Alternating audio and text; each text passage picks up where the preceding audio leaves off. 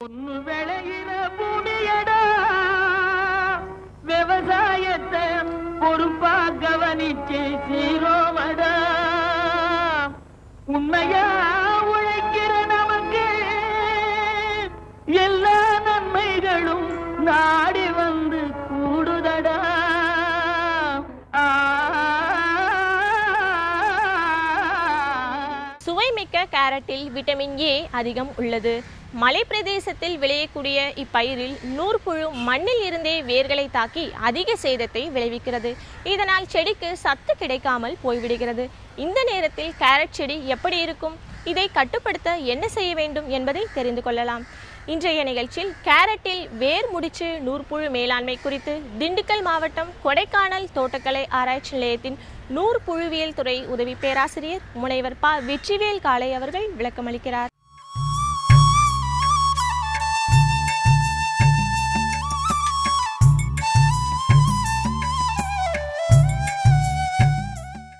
இந்த கேரட் சாகுபடி செய்வதில் பல வகையான இன்னல்கள் இருக்குது விவசாய பெருமங்களுக்கு இருக்குது அதில் முக்கியமாக பார்த்தா பூச்சி நோய் நூட்புழு.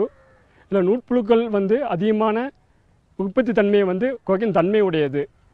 இதனால் அந்த நூட்புழுக்கள் என்பது நேரடியாக நம்ம வயல்வெளியில் காண இயலாது. பூச்சி நோய்களை பார்த்து பூச்சி நோய்களை வந்து நம்ம கண்ணில் பார்த்து அதோடைய சேதங்களை வச்சு இந்த பூச்சியில் நோயின்னு கண்டுபிடிக்கலாம். ஆனால் நூட்புழுக்களை பொறுத்த மட்டும் அது மண்ணில் இருக்கிறதுனால நம்மளால் நூற்புழுக்கள் நேரடியாக கண்ணில் பார்க்க முடியாது. இந்த நூற்புழுக்கள் வந்து மண்ணில் இருந்துக்கிட்டு வேகப்பகுதியை தாக்கி சேதத்தை உண்டாக்குறது. அது இல்லாமல் இந்த பயிர்களுக்கு தேவைப்படும் சத்து பொருட்களையும் நீர்க்க நீர் நீர்களையும் செடிகளுக்கு கிடைக்காமல் தடுக்கிறது. இதனால் செடியினோட வளர்ச்சி குன்றி மகசூல் இழப்பு ஏற்படுகிறது. இந்த நூற்புழுக்கள் என்பது மண்ணிலிருந்து சல்லடை வழியாக பிரித்து எடுத்து நுண் கூட்டு நுண்ணோக்கி மூலம் கண்ணால் பார்க்கலாம். இந்த நூற்புழுக்கள் வந்து ஆண் பெண் வேற்றுமை உண்டும் இந்த நூட்புழுக்கள் நூலை போல் ரொம்ப மென்மையாக நிகமற்றதாக இருக்கும். பொதுவாக ஆண் பெண் நூற்புழுக்கள் தனித்தனியாக இருக்குது பெண் நூற்புழு நூட்புழுக்கள் பகுதியாகவும் காய்கறி பகுதிகளை தாக்கி சேர்த்து உண்டாக்குவது ஆனால் ஆண் நூல் நூற்புழுக்கள் ஒரு சில ஆண் நூற்புழுக்களை தவிர மற்ற பயிர்களை த- தாக்குவதில்லை சேதப்படுத்துவதில்லை. விதைகளை போட்டு இந்த செடிகள் மு முளைக்கும் போது அந்த வேர் பகுதியை தாக்குது. இந்த நூற்புழு தாக்கிய கேரட்டினுடைய மேல் பகுதி பார்த்தீங்கன்னா இலைப்பகுதி பார்த்தீங்கன்னாக்கும் இந்த வாடி மஞ்சளாக காணப்படும். அதில் அப்படியே கிழங்கு பகுதி கீழ்ப்பகுதி பார்த்தீங்கன்னாக்கும் இந்த கிழங்குடைய பகுதியில் பக்க பக்க சைடில் வரக்கூடிய வேக பகுதியில் பார்த்தீங்கன்னாக்கும் சின்ன சின்ன முடிச்சுக்கள் காணப்படும். இந்த கிழங்குகள் உண்டாகும் போது நூற்புழுகள் தாக்கும் போது இரண்டு கிழங்கு நேரடியாக சீராக முளைக்காமல் இரண்டு மூன்று பக்க வேகங்கள் உண்டாகும். அதனால் வந்து கிழங்கு வந்து கவட்ட கிழங்கு மாதிரி வந்து உண்டாக தன்மை உள்ளது. அது மட்டும் இல்லாது இந்த வேகுடைய பகுதியில் முடிச்சு முடிச்சாக கலல்கள் காணப்படும். அது மட்டும் இல்லாமல் இந்த நு- இந்த கேரட்டை தாக்கக்கூடிய பின் வாரல் நோயையும் இந்த நூற்புழுக்கள் அதிகமாக பகப்பும் தன்மை உள்ளது. இந்த நூற்புழுக்கள் அதிகமாக நூற்புழு தாக்குறதுனால இந்த பின் மாடல் நோயின் தாக்குதலும் அதிகமாக அதிகமாகி செடிகளை வந்து அழிச்சு விடுறது. இதை கட்டுப்படுத்துறதுக்கு ஒருங்கிணைந்த நூற்புழு மேலாண்மை வந்து நம்ம கையாளுறோம். அந்த வயசில் பார்க்கும்போது கோடை உழவு வந்து செய்யணும். கோடை உழவு வந்து மே ஜூன் மாதங்களில் அதிக வெப்பமுள்ள காலங்களில் கோடை உழவு செய்யும்போது அந்த மண்ணில் உள்ள நூற்புழுக்கள் சூரிய வெப்பத்தால் அழிக்கப்படுகிறது முதலாவதாக. இரண்டாவது பார்த்தீங்கன்னாக்கா பயிர் சுழற்சி முறை. அதாவது கேரட்டை பயிர் செஞ்சுட்டு அதே கேரட்டை போடாமல் ஸ்பினாச் முள்ளங்கி கோதுமை பசுந்தாள் உரங்கள் அந்த வரிசையில் வந்து பயிர் செய்யலாம் பயிர் சுழற்சி செய்யலாம். மூணாவது பார்த்தீங்கன்னாக்கும் இந்த மண்ணில் வந்து இருபது டன் தொழுவகம் விடலாம். மூணாவதாக ஒரு டன் வேப்ப புண்ணாக்கு மண்ணில் இடலாம். இல்லாமல் அசோஸ் பயிலம் பாஸ்போ பாக்டீரியா அப்படிங்கிறத ரெண்டு கிலோ வீதம் மண்ணில் இடலாம் இது மாதிரி சூடமோனாஸ் ட்ரைகோடர்மா என சொல்லக்கூடிய உயிர் உட்பு பூசானங்களை ரெண்டு புள்ளி அஞ்சு கிலோவை ஐம்பது கிலோ தொழுவத்துடன் கலந்து மண்ணில் வந்து இடும்போது அது மண்ணில் பழகி நூட்புழுக்களையும் கட்டுப்படுத்துகிறது. அது இல்லாமல் பின் மாடல் நோய் அது இல்லாமல் பயிர்களுக்கு தேவையான ஊட்டச்சத்தையும் கொடுத்து உடைய வளர்ச்சியும் அதிகப்படுத்துது. நூட்புழுக்கள் எண்ணிக்கை அதிகமாக இருந்துச்சுனாக்கும் லெபார்ட்டரியில் கொடுத்து மண்ணை ஆய்வு செய்தோம்னாக்கும் மண்ணை வந்து பரிசோதனை செய்யும்போது அதிகமான நூற்பொருட்கள் இருந்துச்சுனாக்கும் கார்பிபுகான் மூணு சத குருண மருந்தின முப்பத்தி மூணு கிலோ இதில் இந்த மண்ணில் இடலாம். வேக முடிச்சு நூக்கி நூற்பு தாக்கிய இந்த கேரட் கிழங்கில் பார்த்தீங்கன்னாக்கும் கிழங்குடைய சைஸ் ரொம்ப சின்னதாக இருக்கும். அது இல்லாமல் பக்கத்தில் இந்த கிழங்குடைய சைடில் சின்ன சின்ன முடிச்சுக்கள் காணப்படும். ஆனால் வேர் தாக்கா நூற்புழு தாக்காத கிழங்குகளை பார்த்தினாக்கும் நல்லா தகமானதாக நல்லா ஹெல்த்தியாக ரொம்ப பெருசாக தெரியும்.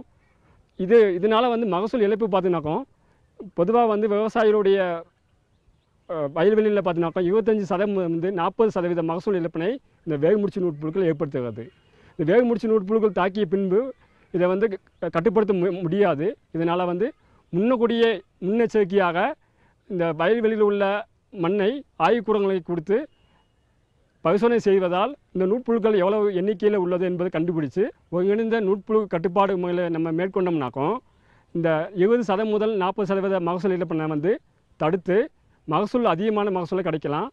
மார்க்கெட்டுக்கு போகும்போது அதிகமான விலையும் கிடைக்கும் இந்த கேரட்டுக்கு. அதில் அதுலேயும் அதன் மூலமாகவும் அதிகமான வ- வருமானத்தை விவசாயிகள் ஈட்டலாம். ஏழைகளின் பசுவான ஆடு வளர்ப்பது ஒரு லாபகரமான தொழிலாகும். இதில் குறைந்த இடத்தில் குறைந்த ஆட்களால் பராமரிப்பு செய்யப்படும் புதிய முறையே பரன்மேல் ஆடு வளர்ப்பு. இதில் சிறிய இடத்தில் அதிக ஆடுகளை வளர்க்கலாம். மேலும் ஆடுகள் குறைந்த நாட்களில் விரைவாக வளர்ந்து அதிக லாபத்தை தரக்கூடியது. இம்முறையில் ஆடுகள் மிகவும் சுகாதாரமான சூழ்நிலையில் வளர்கின்றன. இந்த பரணமைப்பது எப்படி? இதில் ஆடுகளை எவ்வாறு பராமரிக்க வேண்டும் என்பதை தெரிந்து கொள்ளலாம். இன்றைய நிகழ்ச்சியில் பரன்மேல் ஆடு வளர்ப்பு குறித்து திருவாரூர் மாவட்டம் நீடாமங்கலம் வேளாண் அறிவியல் நிலையத்தின் உழவியல் துறை உதவி பேராசிரியர் டாக்டர் ஜி. சுதாகர் அவர்கள் விளக்கமளிக்கிறார்.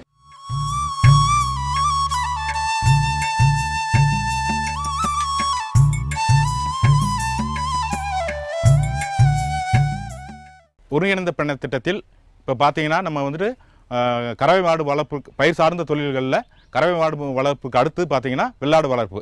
வெள்ளாடு ஏழைகளின் பசு என்று சொல்லக்கூடிய வெள்ளாடு வளர்ப்பானது இப்போ வந்து பெரிய லாபம் தரக்கூடிய ஒரு வேளாண் சார்ந்த தொழிலாகும். இதில் பார்த்தீங்கன்னா ஆடுகளை வந்து கொட்டில் முறை மேய்ச்சல் முறை அதுக்கடுத்து கொட்டில் சார்ந்த மேய்ச்சல் முறை என்ற பலவேறு முறைகளில் நம்ம வந்துட்டு வளர்த்தாலும் இப்போ வந்துட்டு இப்போ மிக குறுகிய காலத்தில் பார்த்தீங்கன்னா பரன்மேல் வெள்ளாடு வளர்ப்பு. அதாவது ஆடுகளை கொட்டிலுடன் பரன் அமைத்து அந்த இடத்திலே வந்துட்டு அதுக்கு தேவையான தீவனங்களை அளிக்கும் பொழுது அது மிக குறைந்த நாட்களில் துரித வளர்ச்சி அடைந்து அதிக லாபம் தரக்கூடிய ஒரு தொழிலாக மாற்றப்பட்டுள்ளது. இது முக்கிய பயன் என்று பார்க்கும் பொழுது முதல்ல பார்த்தீங்கன்னா குறைந்த இடத்துல அதிக ஆடுகளை நம்ம வந்துட்டு சுகாதாரமான முறையில் நம்ம வளர்க்கலாம். இரண்டாவது பார்த்தீங்கன்னா குறைந்த ஆட்களை கொண்டு அதிக ஆடுகளை நம்ம பராமரிப்பு செய்யலாம். குறைந்த நாட்களிலே அதிக எடை அது பார்த்தீங்கன்னா அதிக வளர்ச்சி அடைந்து அதிக எடை கிடைச்சி அதிக வருமானம் கிடைக்கிறதுக்கு வாய்ப்பு அதிகம். நோயான நோய் அதாவது செல் பெயின் மற்றும் இதர நோய்கள் இருந்து பார்த்தீங்கன்னா இதோட பாதிப்பு வந்து மிக குறைவு. அதுக்கடுத்து பார்த்தீங்கன்னா நம்ம வந்துட்டு ஒவ்வொரு ஆட்டுக்கொட்டையிலையும் அது சிறுநீர் மற்றும் அதோடைய ஆட்டு புழுக்கையிலிருந்து வெளியிடக்கூடிய அம்மோனியா நச்சு வாயிலிருந்து நம்ம வந்துட்டு இதுகளை நம்ம மிக அதிக அளவில் பாதுகாக்கலாம். அதுக்கடுத்து நம்ம பார்த்தீங்கன்னா இதில் இந்த கொ- கொட்டில் முறையில் ஆடுகளை இனம் கண்டறியலாம். எந்த ஆடு வந்துட்டு சின்ன ஆடு எந்த ஆடு குட்டி ஆடு எந்த டயத்தில் வந்து அதை நம்ம க கிடாயோட நம்ம இணையப்பிக்கலாம் அப்படிங்கிறத தெரிஞ்சு நம்ம வந்துட்டு வளர்க்கும் பொழுது குறுகிய காலத்தில் அதிக வருமானம் பெறக்கூடிய ஒரு தொழிலாக மாற்றப்பட்டுள்ளது. இதில் பார்த்தீங்கன்னா முதல்ல வந்துட்டு பரன் அமைக்கிறது. பரன் அமைக்கிறதுன்னு பார்த்தீங்கன்னா ஒரு ஆட்டுக்கு வந்துட்டு நம்ம நல்ல மேட்டான இடத்துல நல்ல காற்றோட்டம் இடத்துல என்ன செஞ்சிடணும்? கிழக்கு மேற்காக நம்ம வந்துட்டு கொட்டையை அமைக்கணும். அதில் பார்த்தீங்கன்னா ஒரு ஆட்டுக்கு பத்து சதுரடி என்ற அளவில் கணக்கிட்டு குறைந்தபட்சம் பத்து ஆடுகளுக்கு ஒரு கிடா என்ற அளவில் நம்ம பத்துக்கு பத்து சதுரடியில் ஒரு கொட்டகை அமைக்கணும். அந்த கொட்டகையில் பார்த்தீங்கன்னா சதுர வடிவிலோ அல்லது செவ்வக வடிவிலோ அமைச்சால் ரொம்ப நல்லது. ஆடுகளுக்கு பார்த்தீங்கன்னா முதல்ல வந்துட்டு பரண் அமைக்கிறதுக்கு நல்ல க- தூண்களை வந்துட்டு கல் தூண்களையோ அல்லது சிமெண்ட் தூண்களான நல்ல அமைப்பு பயன்படுத்தி அதன் மேலே வந்துட்டு பரனானது ரெண்டு ரெண்டு இன்ச்சு அகலம் உள்ள ஐந்தடி நீளமுள்ள நம்ம சக்கையில் மரச்சட்டங்களை பயன்படுத்தி பரண் அமைக்கணும். அந்த பரன் அந்த சட்டங்களுக்கு இடைவெளி பார்த்தீங்கன்னா அரை அங்குலம் தான் இருக்கணும். ஏன்னா அரை அங்குலத்துகளுக்கு மேலே போகும்போது என்ன செஞ்சிடும்? காலோட ஆட்டோடைய கால் வந்துட்டு உள்ளே போய் இழப்பு ஏற்படுறதுக்கு வாய்ப்புகள் அதிகம். அதே டயத்தில் பார்த்தீங்கன்னா அந்த பரனுக்கு அந்த சட்டத்துக்கு மேலே என்ன செஞ்சிடணும்? கம்பி வலையில கொண்டு ஒரு நாலடி உயரத்தில் கம்பி வலையில கொண்டு நம்ம வந்துட்டு சுத்துக்கும் நம்ம வந்துட்டு தடுப்பு ஏற்படுத்தணும். அதுக்கு மேலே பார்த்தீங்கன்னா கீற்றாலையோ அல்லது நம்மளுக்கு உகந்த நம்ம அவங்களுடைய வருமானத்துக்கு உகந்த அஹ், சிமெண்ட் கூரைகளை பயன்படுத்தி நம்ம கொட்டையை அமைச்சுக்கலாம் அதே மாதிரி பார்த்தீங்கன்னா உள்ள தீவன தொட்டி ஆடுகளுக்கு தேவையான தீவன தொட்டியும் அதே மாதிரி ஆடுகளுக்கு தேவையான தண்ணி தொட்டியும் நம்ம உள்ளேயே அமைச்சுக்கலாம் அல்லது வந்துட்டு அந்த ஆடுகளுடைய இயற்கை குணங்களை மாற்ற முடியாமல் செய்ய முடியாது. அதாவது இயற்கை குணங்களானது அது சுற்றி திரியும் ஆடுகளை வந்துட்டு நம்ம வந்துட்டு அதுக்கு ஆடுகளுக்கு பரனுக்குள்ளே வைக்காட்டினாலும் பரவாயில்ல. இந்த மாதிரி நம்ம வந்து பரனுக்கு வெளிப்பக்கம் நம்ம வந்துட்டு தீவன தொட்டியிலையும் தண்ணீர் தொட்டியிலையும் அமைச்சு பராமரிக்கும் போதில் குறைந்த காலத்தில் அதிக வளர்ச்சி அடைந்து அதிக வருமானம் பெறக்கூடிய ஒரு தொழில். அதுக்கடுத்து பார்த்தீங்கன்னா நம்ம எப்படி வந்துட்டு சினை பா ஒரு ஆட்டோட வந்துட்டு சினை பராமரிப்பு எப்படி செய்யணும்னு பார்த்தீங்கன்னா பத்து ஆட்டுக்கு குறைந்தது ஒரு ஆடு. அதாவது நம்ம பராமரிப்பில் பார்த்தீங்கன்னா ஆடு வளர்ப்புலன்னு சொல்லுவாங்க இருபது பெட்டைக்கு ஒரு கிடாம்பாங்க. நம்ம இந்த வளர்ப்பு முறையில் பார்த்தீங்கன்னா பத்து ஆட்டுக்கு ஒரு கிடா அப்படிங்கிற முறையில் வளர்க்கணும். அது பார்த்தீங்கன்னா சினை பருவம் பார்த்தீங்கன்னா நூற்றி ஐம்பத்தஞ்சு நாள். அதில் வந்து பார்த்தீங்கன்னா சினை காலம்ங்கிறது பார்த்தீங்கன்னா ஒன்றுலேருந்து இரண்டு நாட்கள். அதாவது சினை பருவம் அறிகுறி தென்பட்டோன்னு என்ன செய்யணும்னா நம்ம கிடாயை வந்துட்டு நம்ம வந்து என்ன செஞ்சிடணும்? ஆடுகளோட சேர விடணும். அதுக்காக என்ன செஞ்சிருக்கணும்னா என்றைக்குமே பரனுக்குள்ள சின்ன சின்ன தடுப்புகள் குட்டிகளுக்கு தனி அறைகள் அதே மாதிரி பார்த்தீங்கன்னா சினை ஆடுகளுக்கு தனி அறைகள் கெடா கெடா என்ற ஆண் ஆடுகளுக்கு தனி அறைகள் அது மற்ற ஆடுகளுக்குள்ள ஒரு அறைகள் அமைத்து தனித்தனி அறைகள் அமைத்து நம்ம வந்துட்டு ஆடுகளை பராமரிக்கும் பொழுது பார்த்தீங்கன்னா நம்ம வந்து ஆடுகளுக்கு எந்தவித நோய் ஏற்படாமவும் அதே மாதிரி குறுகிய காலத்தில் அதிக வளர்ச்சி நம்ம அடைய முடியும். தகுந்த பருவத்தில் வந்துட்டு சினை பிடித்தோடனே என்ன செஞ்சிடணும் சினை ஆடுகளை நம்ம வந்துட்டு தனி அரைக்கில் அனுப்பிச்சி விட்டுட்டு அதுக்கு வந்துட்டு தீவன மேலாண்மை. எப்படி வந்து அது கூட்டச்சத்து மேலாண்மை? அதுக்கு தேவையான பசுந்தீவனங்களை கூட்டி கொடுக்கணும். அதே மாதிரி அடர் தீவனம் பார்த்தீங்கன்னா ஒவ்வொரு சினை ஆட்டுக்கும் பார்த்தீங்கன்னா நார்மலாக கொடுக்கக்கூடிய ஆடுகளுக்கு ஒரு முந்நூறு கிலோ முந்நூறு கிராம் கொடுத்தோம்னா சினை ஆடுகளுக்கும் கெடா கெடா ஆடுகளுக்கும் பார்த்தீங்கன்னா நானூறுலேருந்து ஐநூறு கிலோ அரை கிலோ வரைக்கும் நம்ம வந்துட்டு அடர் தீவனங்கள் கொடுக்கணும். ஒவ்வொரு ஆட்டுக்கும் குறைந்தபட்சம் தினமும் பார்த்தீங்கன்னா அதன் இடையில பார்த்தீங்கன்னா பத்து சதவீதம். அது எடை வந்துட்டு பத்து கிலோ இருக்குன்னா அதில் பத்து சதவீதம் பார்த்தீங்கன்னா நம்ம வந்துட்டு ஒரு கிலோ அப்படிங்கிற எடை பட்சத்தில் பிரித்து கொடுக்கணும். இதில் உலர் தீவனம் அதுக்கடுத்து அடர் தீவனம் அதுக்கடுத்து காய்ந்த வைக்கோல். இந்த இதை வந்து பார்த்தீங்கன்னா டூ இஸ்ட்டு டூ இஸ்ட்டு ஒன்று என்ற விதத்தில் நம்ம கலந்து அதில் வந்து பார்த்தீங்கன்னா ஒரு ஆட்டுக்கு குறைந்தபட்சம் ஒரு நாளைக்கு ஐந்து கிலோ அன்ற இடத்துல தீவனம் கொடுக்கலாம். இதுக்கு பார்த்தீங்கன்னா தீவனம் வந்துட்டு மேலாண்மை தான் பெரிய முக்கியம். ஆடுகளை வளர்க்கும் முதல்ல முதல்ல தீவனத்தை வந்துட்டு வளர்க்கணும். அதுக்கு பார்த்தீங்கன்னா முதல்ல வந்துட்டு நம்மளுக்கு எப்படி வந்துட்டு ஒவ்வொரு மாவுச்சத்து புரதச்சத்து நார்ச்சத்து அப்படி என்று சொல்றோமோ அதே மாதிரி ஆடுகளுக்கும் பார்த்தீங்கன்னா அதுக்கு மாவுச்சத்து தேவை நார்ச்சத்து தேவை அதே மாதிரி பார்த்தீங்கன்னா புரதச்சத்து தேவை அதே மாதிரி பார்த்தீங்கன்னா நுண்ணூட்டங்கள் அடங்கிய மினரல் சத்து அதாவது த- தனிமங்கள் சத்து தேவை. இந்த மாதிரி சத்துக்களை கொடுத்தோம்னா தான் அது குறைந்த காலத்தில் அதிக எடை அதாவது ஒரு ஆடு பார்த்தீங்கன்னா நம்ம பண்ணையில் வளர்க்குற ஆடு பார்த்தீங்கன்னா குட்டி வந்து ஒரு அதிகபட்சம் பதினஞ்சு நாள். இந்த பதினஞ்சு நாளில் பார்த்தீங்கன்னா அதோட எடை பார்த்தீங்கன்னா இப்போ அஞ்சு கிலோ அஞ்சு கிலோ இருக்குது நம்ம விற்கிறது பூரா பார்த்தீங்கன்னா ஆறு மாதத்தில் விற்கிறோம் ஆறு மாதத்தில் ஒரு குறைந்தது நம்ம குட்டியோட எடை பார்த்தீங்கன்னா குறைந்தது வந்துட்டு இருபத்தஞ்சிலேருந்து முப்பது கிலோ வருது. அது சராசரியாக ஒரு ஒரு தனி நபர் ஒரு பரன் அமைத்து இந்த மாதிரி ஆடு வளர்க்கும் போதில் குறைந்தபட்சம் ஒரு வருடத்துக்கு பத்து பெட்டை ஒரு கெடா என்று வளர்க்கும் போல குறைந்தபட்சம் நிகர வருமானமாக ஒரு ஆள் வந்து இருபத்தாயிரம்லேருந்து முப்பதாயிரம் ரூபா வருமானம் எடுக்க முடியும். இது வந்துட்டு எளிய முறை. இதுக்கு தேவையான தீவனங்கள் என்று பார்க்கோம்னா இந்த நார்ச்சத்துன்னு எடுத்துக்கிட்டிங்கன்னு வச்சு ஒரு மாவுச்சத்துன்னு எடுத்துக்கிட்டிங்கன்னா இப்போ கம்பெனி அப்பியர் புல் இருக்குது கோஃபர் கிராஸ் இருக்குது கினியா கிராஸ் இருக்குது எருமை புல் இருக்குது அதுக்கடுத்து பார்த்தீங்கன்னா இந்த மாதிரி தீவன புட்கள்லாம் இருக்குது நார்ச்சத்து தரக்கூடிய பார்த்தீங்கன்னா இந்த கினியா புல்ல நார்ச்சத்து அதிகம் உள்ளது. அதே மாதிரி பார்த்தீங்கன்னா புரதச்சத்து நிறைந்தது பார்த்தீங்கன்னா நீங்கள் வேலி மசால் குதிரை மசால் முயல் மசால் அதுக்கடுத்து பார்த்தீங்கன்னா என்றைக்குமே கால்நடைகளுக்கு தீவன மர இலைகள். அதுக்காக எந்த ஒரு வயல் ஒரு தோட்டத்தில் ஆரம்பிச்சோம்னா அந்த தோட்டத்தை சுற்றி பார்த்தீங்கன்னா கல்யாணம் முருங்கை சவுண்டல் மரம் அதுக்கடுத்து பார்த்தீங்கன்னா கிளேரி சிடியா அதுக்கடுத்து பார்த்தீங்கன்னா அகத்தி மரம் பூவரசு வேம்பு இந்த மாதிரி அனைத்து வகையான க ம- மரங்களை நம்ம நட்டு பயிரிட்டு அது பார்த்தீங்கன்னா என்றைக்காவது வந்துட்டு மழைக்காலங்களில் பார்த்தீங்கன்னா நம்ம புல்லோ அல்லது வந்துட்டு நம்ம தி- இந்த ப- புரதச்சத்து நிறைந்த இந்த பயிர்களை சாப்பிடாது. மலை மர இலைகளை வெட்டி கொண்டு வந்து நம்ம வாட்டில் வந்துட்டு இடத்துல போட்டுட்டோம்னா அந்த இலைகளை சாப்பிட்டு வந்து தினராத்திரமாக வளரும். ஒரு ஆடு குறைந்தபட்சம் பார்த்தீங்கன்னா நம்ம வந்துட்டு நல்ல முறையில் பரன் ஆடு வளர்ப்பு முறையில் நம்ம வச்சோம்னா குறைந்தது பார்த்தீங்கன்னா ஆறு மாதத்தில் நாற்பது கிலோ வரைக்கும் கொண்டு போகலாம். ஒரு கிலோ வந்துட்டு இன்றைய விலை பார்த்தீங்கன்னா குறைந்தது வந்து முந்நூறுரூவா வச்சாலும் ஸோ ஒரு ஒரு ஆடு வந்து பதினெட்டாயிரரூவா சர்வ சாதாரணம் அறுபது கிலோ கணக்கு வச்சோம்னா அறுபது இன்ட்டு ஒரு முந்நூறுரூவா பார்த்தீங்கன்னா பதினெட்டாயிரம் ரூபாய்க்கு நம்ம வந்துட்டு நம்ம நிகர லாபம் பெறலாம். அதுக்கடுத்து பார்த்தீங்கன்னா ஒரு ஆட்டுக்கு குறைந்தது பார்த்தீங்கன்னா ஒரு நாளைக்கு அடர் தீவனம் குட்டி ஆட்டுகளுக்குன்னா பார்த்தீங்கன்னா நூறு கிராம். நூறுலேருந்து இரநூறு கிராம் வரைக்கும் கொடுக்கலாம். அதுக்கடுத்து பார்த்தீங்கன்னா கிட கிடரி மற்றும் பெண் ஆடுகள். கிடா ஆண்டு பெண் ஆடு சினை ஆடுகளுக்கு பார்த்தீங்கன்னா நம்ம குறைந்தது அரை அரை கிலோ கொடுக்கணும். நார்மலாக இருக்கக்கூடிய சின்ன சினை இல்லாத ஆடுகளுக்கு பார்த்தீங்கன்னா இரநூத்தி ஐம்பதுலேருந்து முந்நூறு கிராம் கொடுக்கணும். அதே மாதிரி பார்த்தீங்கன்னா தண்ணீர் சுத்தமான தண்ணீர். எப்பயுமே ஆடுகளுக்கு சுத்தமான தண்ணீர் ஐந்து லிட்டர்ல இருந்து பத்து லிட்டர் வரைக்கும் கொடுக்கலாம். ஆட்டின் எடையை பொறுத்து பார்த்தீங்கன்னா பெரிய ஆடுகளுக்குன்னா பத்து லிட்டர் வரைக்கும் கொடுக்கலாம். நம்ம வந்து மற்ற குட்டி ஆடுகளுக்கெல்லாம் குறைந்தது ஐந்து லிட்டர்ல இருந்து பத்து லிட்டர் தண்ணி கொடுக்கும் போல அது அதோடைய விருத்தியை பார்த்தீங்கன்னா நல்லா திடகாத்திரமா வளர்ந்து இந்த மாதிரி அதுலயும் பார்த்தீங்கன்னா ஆடுகளை வந்துட்டு எப்பயுமே கோழி வளர்ப்பு முறையில் என்ன பண்ணாங்கன்னா முதல்ல கோழி வந்துட்டு தெருவில் சுற்றிக்கிட்டு இருந்தது. அதுக்கடுத்து வந்து ஆள்குள் முறைன்ற கொட்டைக்குள்ளே வளர்த்தாங்க.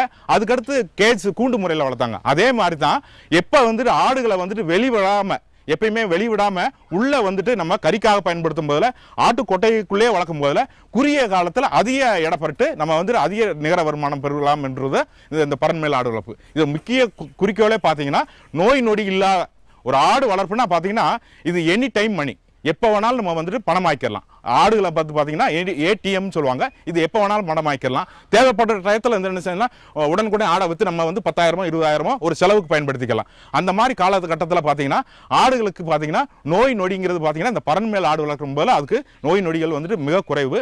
ஆடுகளுக்கு பார்த்தீங்கன்னா இந்த மாதிரி வருமுன் காப்பது தான் இந்த மிக மிகச்சிறந்த நோய் இது பார்த்தீங்கன்னா ஜூன் மாதத்துலேயும் ஜனவரி மாதத்துலையும் ஜூலை மாதத்துலேயும் அதுக்கு என்ன செஞ்சிடணும்? கோமாரி நோய்கள் வரும். அது டாக்டர் நம்ம கன்சல்ட் பண்ணிட்டு கோமாரி நோய்களுக்கான தடுப்பூசி வருமுன் காப்பது.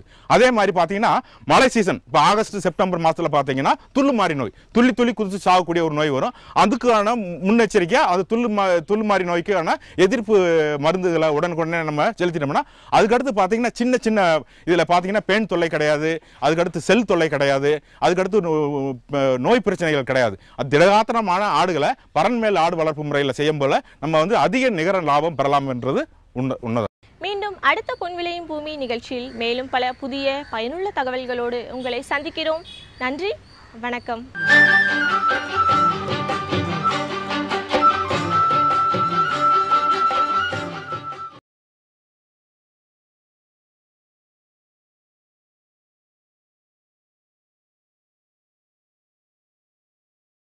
பொண்ணு விளையிற பூமியடா.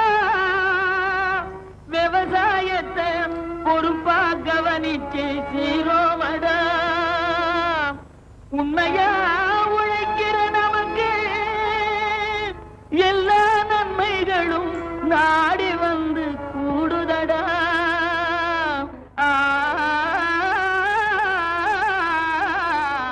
சுவைமிக்க கேரட்டில் விட்டமின் ஏ அதிகம் உள்ளது.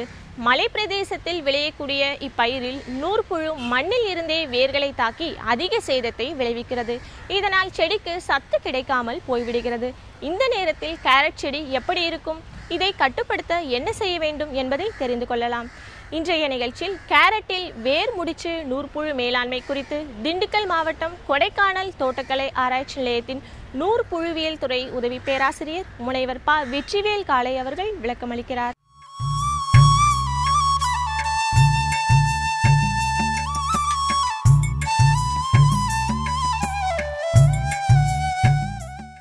இந்த கேரட் சாகுபடி செய்வதில் பல வகையான இன்னல்கள் இருக்குது விவசாய பெருமங்களுக்கு இருக்குது அதில் முக்கியமாக பார்த்தா பூச்சி நோய் நூட்புழு இல்லை நூட்புழுக்கள் வந்து அதிகமான உற்பத்தி தன்மையை வந்து குறைக்கும் தன்மை உடையது இதனால் அந்த நூட்புழுக்கள் என்பது நேரடியாக நம்ம வயல்வெளியில் காண இயலாது.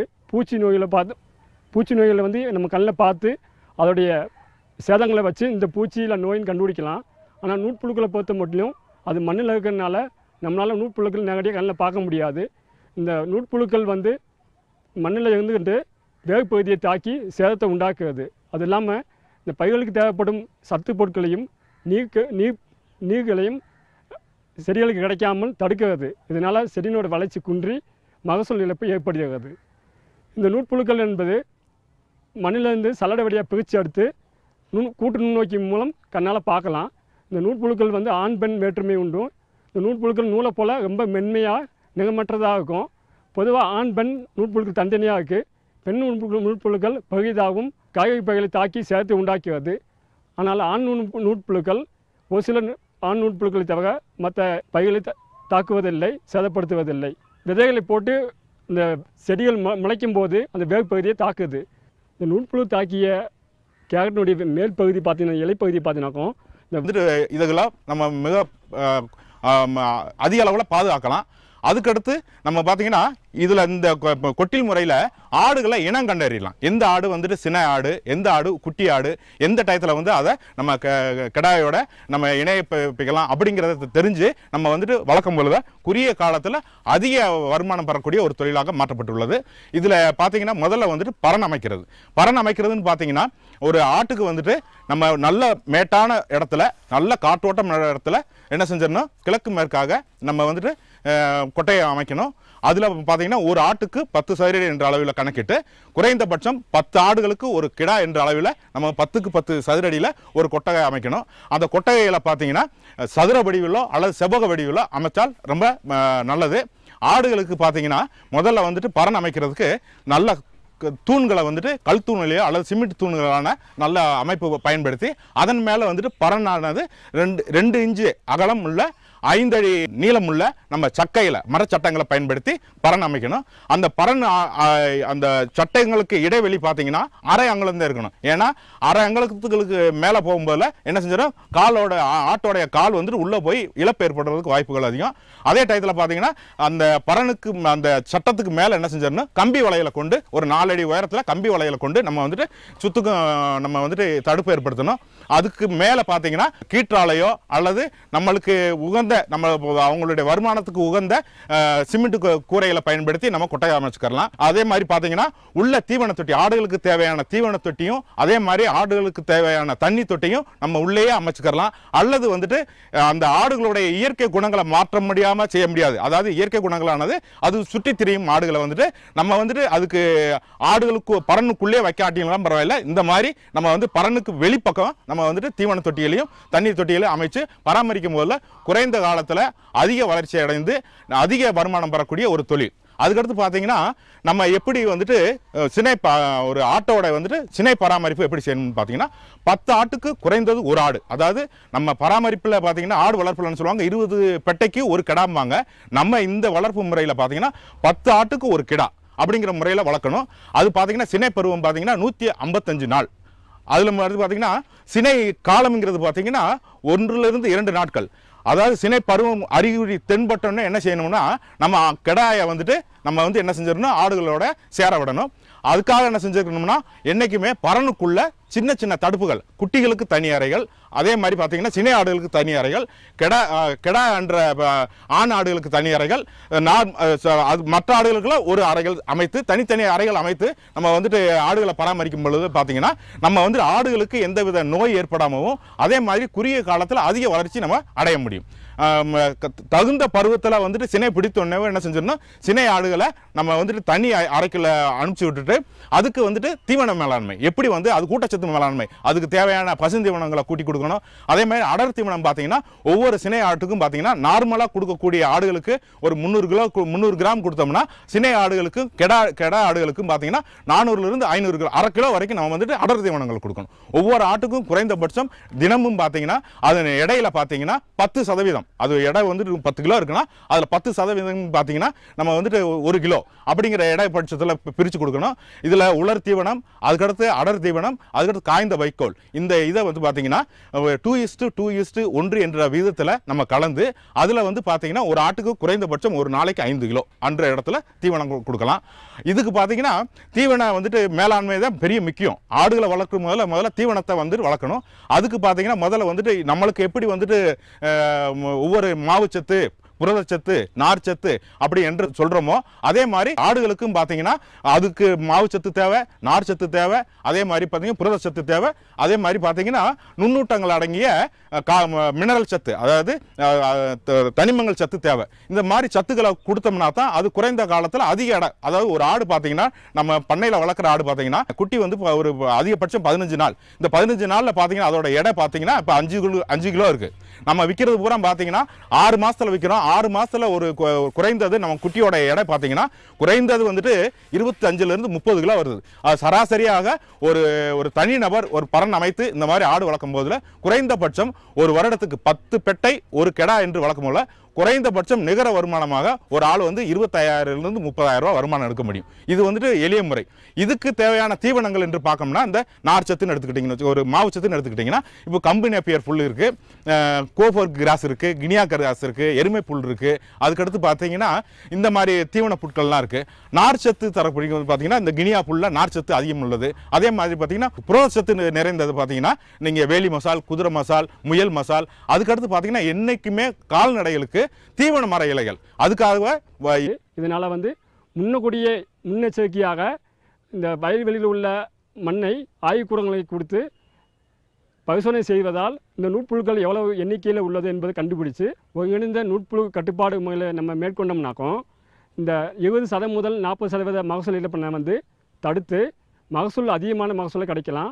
மார்க்கெட்டுக்கு போகும்போது அதிகமான விலையும் கிடைக்கும் இந்த கேரட்டுக்கு. அதில் அதுலேயும் அது மூலமாகவும் அதிகமான வருமானத்தை விவசாயிகள் ஈட்டலாம். ஏழைகளின் பசுவான ஆடு வளர்ப்பது ஒரு லாபகரமான தொழிலாகும்.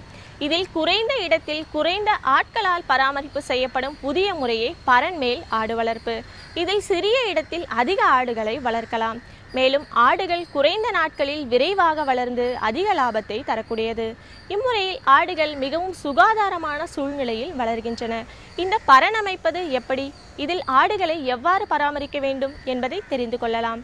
இன்றைய நிகழ்ச்சியில் பரன்மேல் ஆடு வளர்ப்பு குறித்து திருவாரூர் மாவட்டம் நீடாமங்கலம் வேளாண் அறிவியல் நிலையத்தின் உழவியல் துறை உதவி பேராசிரியர் டாக்டர் ஜி சுதாகர் அவர்கள் விளக்கமளிக்கிறார்.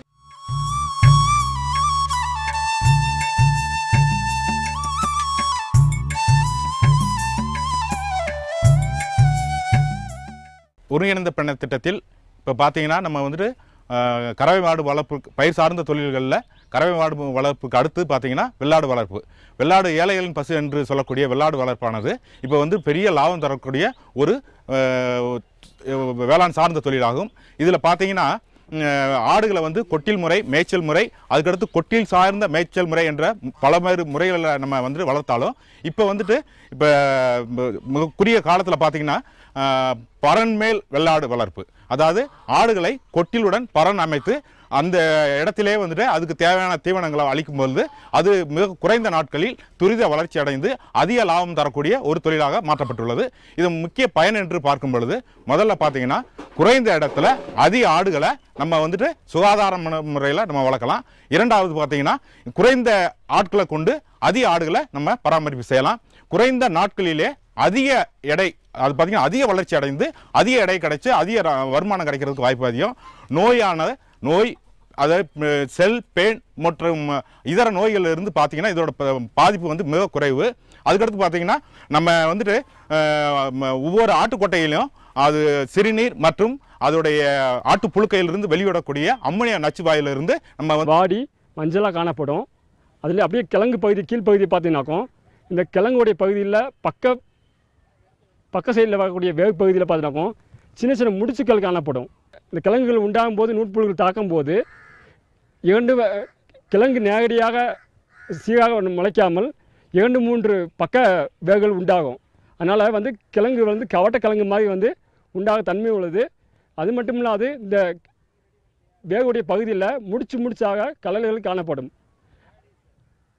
அது மட்டும் இல்லாமல் இந்த இந்த வே- கேரட்டை தாக்கக்கூடிய பின் வாடல் நோயையும் இந்த நூற்புழுக்கள் அதிகமாக பகப்பும் தன்மை உள்ளது. இந்த நூற்புழுக்கள் அதிகமாக நூற்புழு தாக்குறதுனால இந்த பின் மாடல் நோயின் தாக்குதலும் அதிகமாக அதிகமாகி செடிகளை வந்து அழிச்சு விடுறது. இதை கட்டுப்படுத்துறதுக்கு ஒருங்கிணைந்த நூற்புழு மேலாண்மை வந்து நம்ம கையாளுறோம். அந்த வயசில் பார்க்கும்போது கோடை உழவு வந்து செய்யணும்.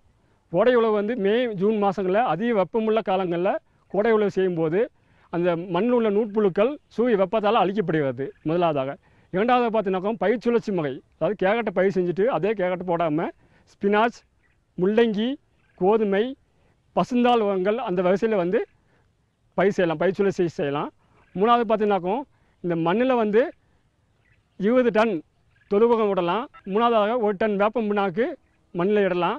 இல்லாமல் அசோஸ் பயிலம் பாஸ்போ பாக்டீரியா அப்படிங்கிறத ரெண்டு கிலோ வீதம் மண்ணில் இடலாம். இது மாதிரி சூடமோனாஸ் ட்ரைகோடோமா என சொல்லக்கூடிய உயிர் உட்பு பூசானங்களை ரெண்டு புள்ளி அஞ்சு கிலோவை ஐம்பது கிலோ தொழுவத்துடன் கலந்து மண்ணில் வந்து இடும்போது அது மண்ணில் பழகி நூற்புழுக்களையும் கட்டுப்படுத்துகிறது. அது இல்லாமல் பின்மாடல் நோய் அது இல்லாமல் பயிர்களுக்கு தேவையான ஊட்டச்சத்தையும் கொடுத்து உடைய வளர்ச்சியும் அதிகப்படுத்துது. நூற்புழுக்கள் எண்ணிக்கை அதிகமாக இருந்துச்சுனாக்கும் லெபார்ட்டரியில் கொடுத்து மண்ணை ஆய்வு செய்தோம்னாக்கும் மண்ணை வந்து பரிசோதனை செய்யும்போது அதிகமான நூற்பொருட்கள் இருந்துச்சுனாக்கும் கவி புகான் மூணு சத குண வந்துன முப்பத்தி மூணு கிலோ இதில் இந்த மண்ணில் இடலாம். வேக முடிச்சு நூ நூற்பு தாக்கிய இந்த கேரட் கிழங்கில் பார்த்தீங்கன்னாக்கும் கிழங்குடைய சைஸ் ரொம்ப சின்னதாக இருக்கும். அது இல்லாமல் பக்கத்தில் இந்த கிழங்குடைய சைடில் சின்ன சின்ன முடிச்சுக்கள் காணப்படும். ஆனால் வேர் தாக்கா நூற்புழு தாக்காத கிழங்குகளை பார்த்தினாக்கும் நல்லா தகமானதாக நல்லா ஹெல்த்தியாக ரொம்ப பெருசாக தெரியும். இது இதனால் வந்து மகசூல் இழப்பு பார்த்தினாக்கும் பொதுவாக வந்து விவசாயிகளுடைய வயல்வெளியில் பார்த்தினாக்கா இருபத்தஞ்சி சதவீதம் வந்து நாற்பது சதவீத மகசூல் இழப்பினை இந்த வேகமுடிச்சு நூற்புழுக்கள் ஏற்படுத்துகிறது. இந்த வேகமுடிச்சு நூற்புழுக்கள் தாக்கிய பின்பு இதை வந்து க- கட்டுப்படுத்த மு- முடியாது.